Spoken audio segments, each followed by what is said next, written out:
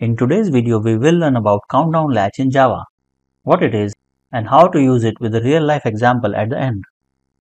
Countdown latch was added in Java 5 and is used for thread synchronization, meaning that you can stop a thread from executing further till one or more threads send a signal. A countdown latch accepts an integer, let's say 2. Now, as soon as you call await on this latch, this thread will halt till countdown method is called on the same latch two times. When countdown latch is called each time, the count of latch reduces by 1 and the thread which called await will proceed further only when the count of latch reaches 0. Let's look at an example. Create a countdown latch with a count of 5. This count is provided through its constructor. Print a statement. Run the program. It runs normally. Now call latch.await before print statement and see what happens. Run this. The program goes into waiting state and it will be in this state till the count of this latch reaches 0 or in other words, countdown method is called on this latch for 5 times since countdown call once will reduce the counter by 1. Let's do this and see how it goes. Create a new class.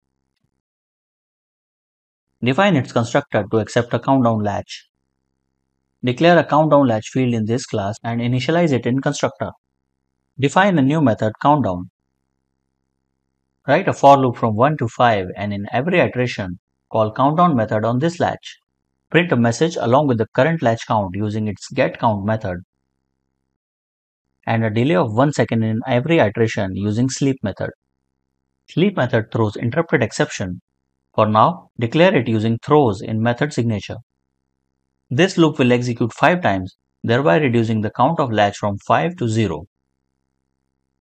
Create an object of this class passing it the object of countdown latch. Call countdown method on this object. Run the program.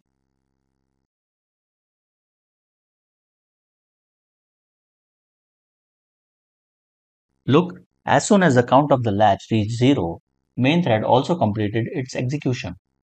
Let's reduce the loop iteration by 1 so that the latch count will remain at 1.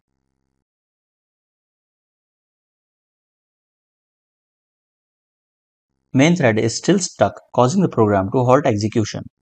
Hope you have understood the working of countdown latch in Java. Till now, we saw the example of countdown latch to understand its use, but its practical use is to halt a thread till some other concurrent threads finish their task. Let's see a real-life example of countdown latch. Imagine that the tires of a car are being changed, after which its wheel balancing and alignment will be done. There are four workers who will change one tire of car each. After they finish, the technician will arrive and perform balancing and alignment. Ideally, the technician should wait till all the workers finish their job of changing tires, after which he will perform his job of balancing and alignment. Let's see how we can achieve this using a countdown latch. Remove this method and change this class name to tire change task. Also make it implement runnable interface since this task will be performed by four workers or four threads simultaneously. As soon as we implement runnable, we need to implement its run method. Print a message that the worker has started his job. Add a time delay of 1 second. Though, changing a tire takes a lot more than that. Sleep method throws an interrupted exception so we need to catch it. Again print a message that the job is done and finally call countdown on the latch. Next create a new thread or worker Change the name of this variable to task to make it meaningful and supply this object to thread constructor since the thread expects a runnable. Create three other workers, one for each tire.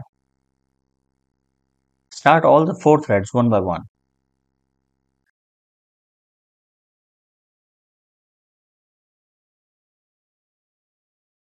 Change this message to indicate that balancing has started. Change the count of countdown latch to 4 since we have to wait for 4 threads. Also put in a message at the start that it is waiting for tires to get changed. Run the program. Look at the sequence of messages. Each worker has started his job, then completed it after a certain delay, and when all the workers or threads finished their task, the thread waiting on those threads proceeded further and finished execution. If any one of these workers does not complete his task, then the main thread will also be stuck forever. Let's comment this out. Run again. Look, the balancing worker is still waiting and will keep on waiting. So, a countdown latch is used to synchronize threads and mainly used to halt a thread till some other threads complete their task. Thus, countdown latch can also be used to divide a complex task into multiple smaller tasks with each task executed by a separate thread. So that when each thread reduces the count of same countdown latch, the thread that is waiting for these tasks to finish can proceed to complete the remaining task.